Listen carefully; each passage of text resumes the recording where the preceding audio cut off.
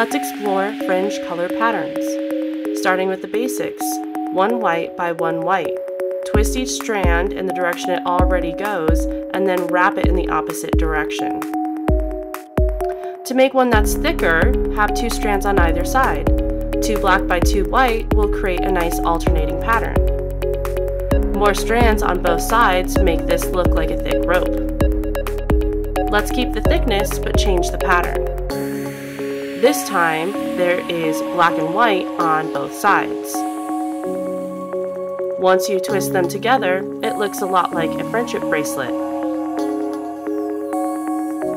What would three strands look like?